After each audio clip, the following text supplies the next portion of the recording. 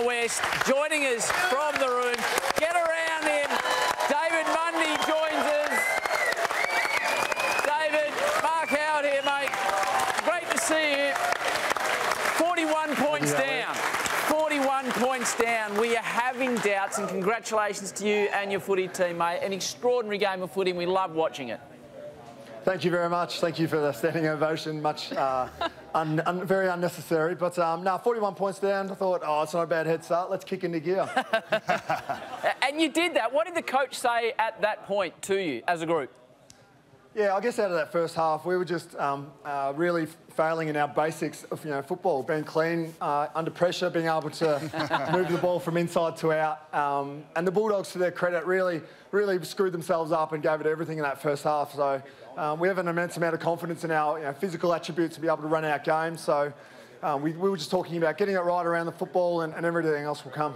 You say that the standing ovation in the studio was a bit unnecessary, but the crowd there at Optus Stadium on their feet pretty much that whole last quarter. But what was that moment like after the final siren, your first finals win there at Optus Stadium, and just knowing that your season and your career is still alive?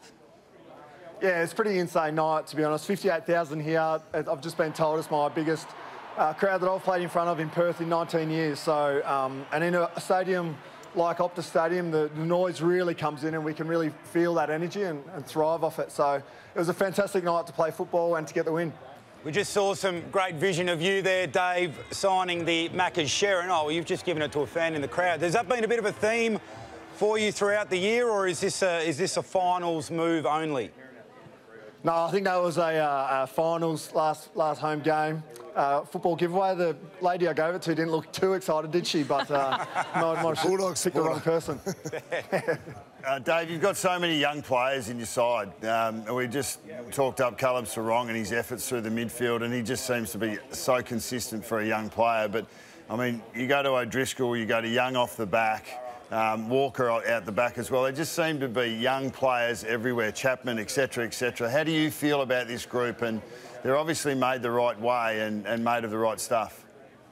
Yeah, and to be honest, for the last three years, I've had the best seat in the house, just being able to, I guess, set them up early days, but now watching them just take over and flourish in um, you know, different roles in our team.